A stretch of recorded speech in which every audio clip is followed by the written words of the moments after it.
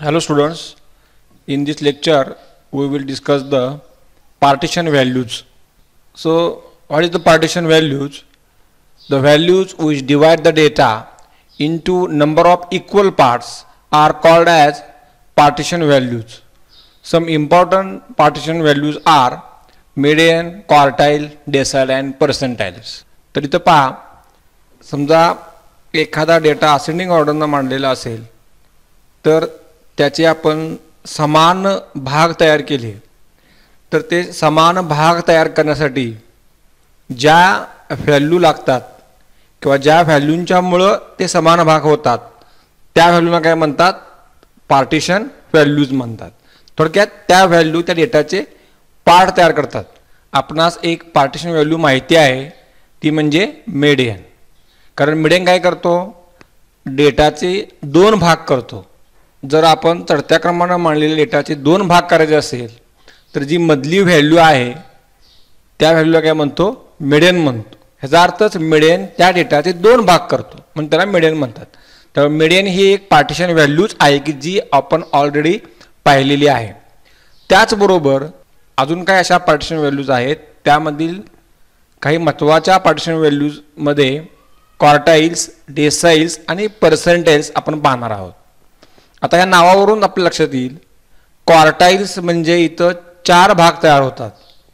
आणि चार भाग तयार करण्यासाठी ज्या व्हॅल्यू लागतात त्यांना म्हणतात क्वार्टाईल्स त्याचबरोबर जर आपण डेटाचे दहा समान भाग केले तर ते दहा समान भाग करण्याकरता ज्या व्हॅल्यू लागतात त्यांना म्हणतात डेसाईल्स आणि पर्सेंटाईल्स म्हणजे जर आपण डेटाचे शंभर समान भाग केले तर शंभर समान भाग करण्याकरता ज्या व्हॅल्यूज लागतात त्यांना म्हणतात पर्सेंटेज तर हा अत्यंत साधा असा कन्सेप्ट आहे की दिलेला जो डेटा आहे त्याचे जर तुम्हाला इक्वल पार्ट तयार करणार करायचे असतील तर त्यासाठी लागणाऱ्या व्हॅल्यूना काय म्हणतात? पार्टिशन व्हॅल्यूज म्हणतात. तर त्यामधली मिडेन ही आपण ऑलरेडी पाहिलेली आहे. आता आपल्याला पाहिजे ती म्हणजे क्वार्टाईल्स डेसाईल्स अँड पर्सेंटेज तर सुरुवातीला आपण क्वार्टाईल्स पाहूया. काय डेफिनेशन दिले पहा? If we want to divide the ascending order data into four equal parts then we need three dividing points Q one Q two Q three are called as quartiles बघा म्हणजे एखाद्या डेटाचे चार भाग करायचे असतील तर आपल्याला तीन डिवायडिंग पॉईंट लागतात. बरोबर? फॉर एक्झाम्पल समजा हा डेटा आहे. असेंडिंग ऑर्डरनं मांडलेला आहे. आता याचे आपल्याला चार समान भाग करायचे असतील तर ते कसे करता येतील? या पद्धतीनं. म्हणजे हा एक पार्ट झाला हा दुसरा हा तिसरा आणि चौथा. म्हणजे चार समान भाग करण्याकरता आपल्याला तीन डिवायडिंग पॉईंट्स लागतात. बरोबर?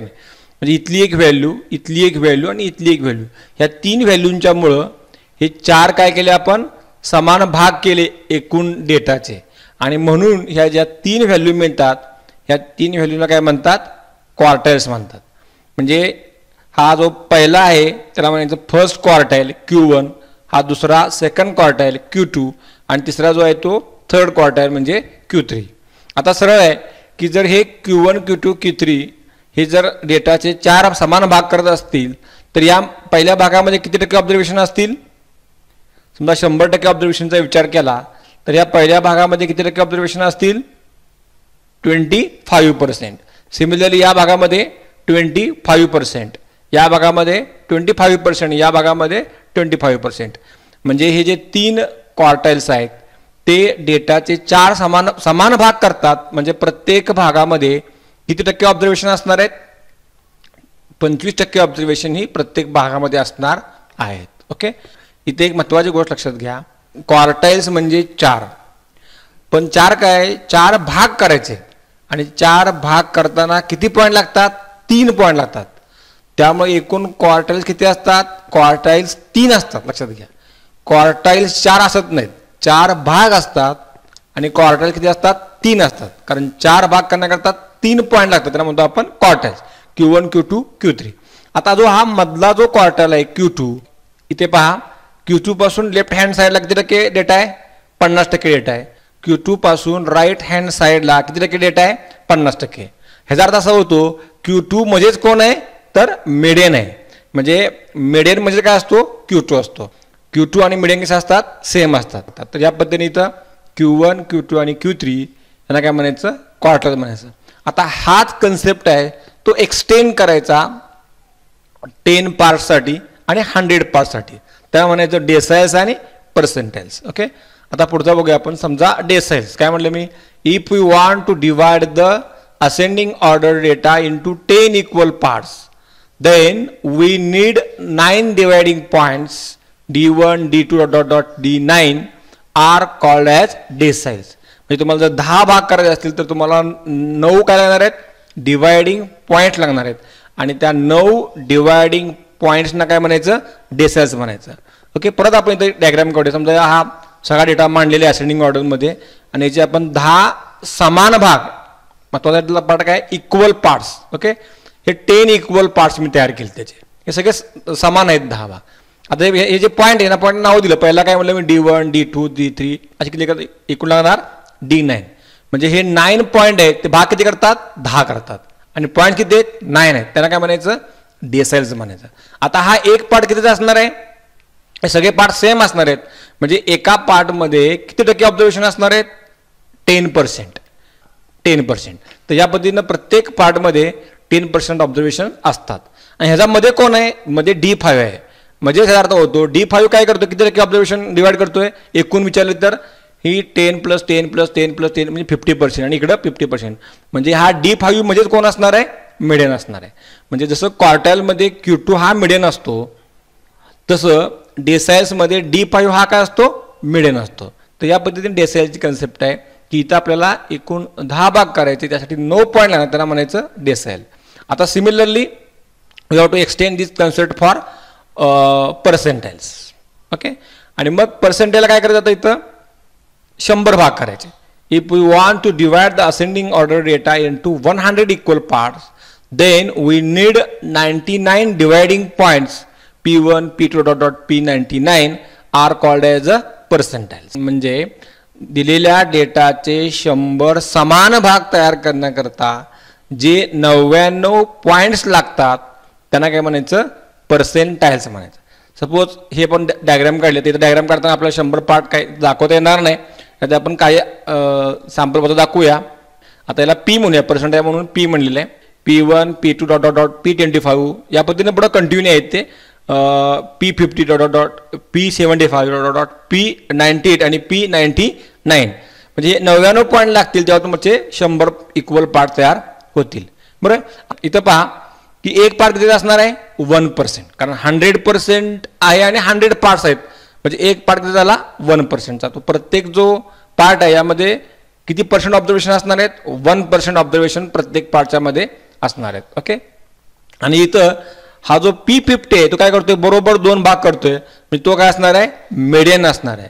हा मिडियन असणार आहे. त्याबरोबरच इथं बघा पी ट्वेंटी फाईव्ह आणि पी सेवन्टी फाईव्ह तर तुम्ही हे तीनच घेतले P twenty five P fifty आणि पी सेवन्टी फाईव्ह तर पी ट्वेंटी फाईव्हच्या अगोदर किती ऑपरेशन असणार आहेत? ट्वेंटी फाईव्ह पर्सेंट इथे किती असणार आहेत? ट्वेंटी फाईव्ह पर्सेंट इथे किती असणार आहेत? ट्वेंटी फाईव्ह पर्सेंट शेवटी किती असणार आहेत? ट्वेंटी फाईव्ह पर्सेंट म्हणजेच इथं पहा की पी फिफ्टी म्हणजे मिडियन असणार आहे आणि पी ट्वेंटी फाईव्ह म्हणजे काय असणार आहे? क्यू वन असणार आहे. आणि पी सेवन्टी फाईव्ह म्हणजे काय असणार आहे? क्यू थ्री असणार आहे. म्हणजे आता असा झाला पर्सेंटाईलमध्ये एकूण आपल्याला शंभर समान भाग करावा करावायचे असतात. त्यावेळेला आपल्याला एकूण नव्याण्णव पॉईंट्स लागतात. त्या पॉईंटना काय म्हणायचं? पर्सेंटाईल म्हणायचं. म्हणजे एकूण पर्सेंट किती असतात? Ninety nine percentiles not hundred लक्षात घ्या. Hundred parts but percentiles ninety nine त्यामधला पी ट्वेंटी फाईव्ह म्हणजेच कोण असतो? फर्स्ट क्वार्टर असतो. पी फिफ्टी हाच काय असतो? मिडियन असतो. आणि पी सेवन्टी फाईव्ह हा काय असतो? थर्ड क्वार्टर असतो. ओके तर या पद्धतीनं हे मिडियन क्वार्टाईल्स डेसाईल्स अँड पर्टेस पर्सेंटाईल्स ह्या सगळे मिळून यांना काय म्हणायचं? पार्टिशन व्हॅल्यूज म्हणायचं. ओके आता या पार्टिशन व्हॅल्यू कशा काढायच्या? त्याचे कॅल्क्युलेशनचे फॉर्म्युले काय आहेत ते आपल्याला पाहायचे आहेत. ओके हे सगळे जे फॉर्म्युले ते इथं मी टेबलमध्ये लिहिलेले आहेत बघा. म्हणजे इंडिव्हिज्युअल ऑब्झर्वेशनला फॉर्म्युला कसा वापरायचा डिस्क्रिट फ्रिक्वेंट डिस्ट्रीब्युशनला कसा वापरायचा आणि कंटिन्युअस फ्रिक्वेंट डिस्ट्रीब्युशनला कसा वापरायचा. हे क्वार्टरसाठी इथं डेसायसाठी आणि इथं पर्सेंटेजसाठी इथं आपल्याला एकूण नव्याण्णव फॉर्म्युला लिहिणे शक्य आहे का? नाही. म्हणून काय करायचा? तो जो फॉर्म्युला आहे तो एक्समध्ये लिहायचा आणि एक्स जागेवर एक दोन तीन या पद्धतीने नाईन्टी नाईनपर्यंत ठेवत जायचं. सिमिलरली डेसाईल जनरल तर काय करायचा? एक्समध्ये लिहायचा. D X X is equal to one two nine similarly Q X X is equal to one two three कारण तीनच क्वार्टर्स आहेत. त्यामुळे X is equal to one two three इथं नाईन डेसाईल आहेत. म्हणून X is equal to one two three up to nine आणि percentiles ninety nine आहेत. त्यामुळे इथं P X X is equal to one two three up to ninety nine आता आपण form इथं आपण फॉर्म्युला जो लिहिणार आहे तो जनरल लिहिणार आहे. पी एक्स म्हणजे एक्स पर्सेंटाईल किंवा एक्स डेसाईल किंवा एक्स कॉर्ट क्वार्टाईल आणि त्यामध्ये तुम्ही व्हॅल्यू ठेवत गेला की तुम्हाला त्या पद्धतीनं क्वार्टाईल डेसाईल आणि पर्सेंटाईल मिळतील. तर इथं बघा सुरुवातीला इंडिव्हिज्युअल ऑब्झर्वेशनसाठी क्वार्टरचा फॉर्म्युला काय असेल तर it is the same as uh like median जो मिडियनचा कन्सेप्ट आहे तोच आपण एक्सटेंड करायचा आहे क्वार्टाईल्सला डेसाईल्सला आणि पर्सेंटाईल्सला तुम्हाला माहिती आहे मिडियनचा फॉर्म्युला काय होता? की size of small N plus one by twoth observation इथं काय म्हणले बघा Q X is equal to size of X into N plus one by fourth observation तिथं काय होतं मिडियनमध्ये N plus one by two होतं त्याच्याऐवजी N plus one by four आलं. आता मिडियन एकच असल्यामुळे तिथं एक्स आपण घेतला नव्हता. इथं आपल्याला X is equal to one घ्या मी तुम्हाला क्यू वन मिळेल. म्हणजे वन ठेवला तर N plus one by fourth observation आणि इथं टू ठेवला तर तो मिडियन मिळेल. आणि थ्री ठेवला तर three into N plus one by fourth observation हा तुम्हाला क्यू थ्री मिळेल. तर ह्या प्र पद्धतीनं फॉर्म्युले आहेत. आता हा सेम फॉर्म्युला इथं अप्लाय करायचा डी एक्सला काय होईल सांगा? D X is equal to size of X in bracket N plus one divide by ten इथे चार भाग करतो म्हणून डिवाइड बाय फोर केलं. इथं आपण टेन पास करतो म्हणून डिवाइड बाय काय करायचं? टेन करायचं आहे म्हणजे size of X into N plus one by tenth observation इथं काय करणार आपण? पर्सेंटायला again same formula P X is equal to size of X into N plus one by hundred observation इथं हंड्रेडने डिवाइड करायचं टेन आणि इथं फोरनं आणि फॉर्म्युला काय आहे? सेम आहे. जो मिडियम वापरलेला तोच आहे. फक्त इथं एक्स घ्यायचा कारण इथं एक्स इक्वल टू वन ठेवला तुम्हाला पी वन मिळेल. इथं टू ठेवला की P two P three P four असं पी नाईन्टी नाईन पण तुम्हाला एकूण नव्याण्णव पर्सेंटेज मिळतील. ओके तर हे फॉर्म्युले आहेत फॉर इंडिव्हिज्युअल ऑब्झर्वेशनला. आता माहिती आहे आपल्याला डिस्क्रिटला काय होणार? डिस्क्रिटला सेम फॉर्म्युले असतात. त्यामध्ये काही बदल नाही. पण काय करायचं? स्मॉल एनच्या ऐवजी कॅपिटल एन वापरायचा. कारण डिस्क्रिट फ्रिक्वेंट डिस्ट्रीब्युशनमध्ये टोटल फ्रिक्वेन्सी म्हणजे काय असतो? Capital N total number of observation म्हणजे समेशन ऑफ एफ आय आणि समेशन ऑफ एफ आय म्हणजे काय असते? कॅपिटल एन असते. त्यामुळे हा फॉर्म्युला काय होईल? Same Q X is equal to size of X into N plus one by fourth observation इथं स्मॉल एनच्या ऐवजी फक्त कॅपिटल एन सिमिलर इथं सुद्धा काय होईल? स्मॉल एनच्या ऐवजी कॅपिटल एन इथं सुद्धा स्मॉल एनच्या ऐवजी कॅपिटल एन त्यामुळे दोन्हीमध्ये काय फारसा फरक नाही. इथं इंडिव्हिज्युअल ऑब्झर्वेशनमध्ये स्मॉल एन म्हणजे नंबर ऑफ ऑब्झर्वेशन्स असतात. त्यामुळे स्मॉल एन घेतलेला आहे. इथं मात्र कॅपिटल एन म्हणजे summation of F I frequency बेरीज हा कॅपिटल एन असतो म्हणून इथं आपण कॅपिटल एन घेतलेला आहे. हा त्यातला फरक आहे. बाकी फॉर्म्युले ते सेम आहे आता प्रश्न येतो कंटिन्युअस फ्रिक्वेन्सी डिस्ट्रीब्युशनला आता कंटिन्युअस फ्रिक्वेन्सी डिस्ट्रीब्युशनला आपल्याला दोन फॉर्म्युले वापरायला लागतील. पहिला कोणता? की आपल्याला तो क्लास काढायला लागेल. जसं आपण मीडियन क्लास काढला आणि मग तो दुसरा फॉर्म्युला वापरला तसं इथं आपल्याला क्वार्टाईलच्या वेळेला क्वार्टाईल क्लास काढायला लागतील. डेसाईलच्या वेळेला डेसाईल क्लास काढायला लागतील. आणि पर्सेंटाईलच्या वेळेला पर्सेंटाईल क्लास काढायला लागतील. आणि मग आपण दुसरा फॉर्म्युला वापरू शकतो. तर पहिल्यांदा क्वार्टाईलचा बघा. इट इज द सेम इथं आपण हाच फॉर्म्युला वापरायचा डिस्क्रीटचा फक्त एन प्लस वनच्या ऐवजी कॅपिटल एन लिहायचं. ओके मग काय होईल? Size of X into N by fourth observation. इथं आपल्याला काय मिळेल? क्वार्टाईल क्लास मिळेल. जो असेल समजा पहिला असेल फर्स्ट एक्स वन असेल तर फर्स्ट क्वार्टल क्लास मिळेल. टू असेल तर सेकंड क्वार्टाईल थ्री असेल तर थर्ड क्वार्टाईल या पद्धतीनं. आणि मग हा क्वार्टल क्लास मिळाला की त्यावरून दुसरा फॉर्म्युला वापरायचा हा. Q X is equal to L one plus X N by four minus F upon F into H this is the similarly to median मिडियनचा formula आणि हा फॉर्म्युला कसा आहे? सारखाच आहे. इंटरप्रिटेशन सुद्धा सेम आहे. एल वन म्हणजे काय? लोअर लिमिट कुणाचं? क्वार्टाईल क्लासचं. फ्रिक्वेन्सी कुणाची? क्वार्टाईल क्लासची. एच कुणाचं? Class width of the quartile class. आणि सी एफ मात्र community frequency of previous class of the quartile class जे आपण इंटरप्रिटेशन पाहिले मिडियनला ते मिडियन क्लाससाठी असतं. इथं सेम इंटरप्रिटेशन आहे. फक्त हा जो मिळणारा क्वार्टाईल क्लास आहे त्यासाठी आपल्याला हे इंटरप्रिटेशन वापरावं लागतं. आणि इथं फॉर्म्युला मात्र येताना इथं एक्स एन बाय फोर घ्या. इथं X equal to one two three ठेवलं तर आपल्याला हे तीन क्वार्टाईल मिळतील. आता सेम वापरायचं डेसाईलला काय करायचं इथे फोरच्या ऐवजी टेन येईल. त्यामुळे पहिला फॉर्म्युला काय? D X equal to size of X into N by tenth observation तुम्हाला डेसाईल क्लास मिळेल. आणि तो डेसाईल क्लास मिळाला की त्याच्यावरून मग दुसरा फॉर्म्युला वापरायचा. D X is equal to L one plus X N by ten minus ए बापर एब इन टू एच हे सेम फॉर्म्युला बघा. इथं फक्त फोर आहे इथं टेन आहे. आणि सिमिलरली पर्सेंटाईलला इथे डिवाइड बाय काय करायचं? हंड्रेड कारण इथे शंभर पार्ट करायचे त्यामुळे डिवाइड बाय हंड्रेड आणि formula again the second formula is also same इथं आपणास पर्सेंटाईल क्लास मिळेल आणि तो पर्सेंटाईलचा क्लास वापरून मग आपल्याला या फॉर्म्युल्यावरून पर्सेंटाईल पर्सेंटाईल काढता येईल. हे मुद्दाम मी या सगळ्या फॉर्म्युल्याचं एकच टेबल दिलेलं आहे. की यामध्ये सिमिलिटी काय आहे? म्हणजे यामध्ये आपल्याला असं वाटू नये की यात खूप फॉर्म्युले आहेत. तर यामध्ये काही वेगळे फॉर्म्युले नाहीत. एकच फॉर्म्युला आहे तो कसा फक्त बदल बदलत जातो ते आपल्याला लक्षात ठेवायचं आहे. इथं स्मॉल एनच्या ऐवजी कॅपिटल एन घ्यायचं आणि इथं मात्र काय करायचं?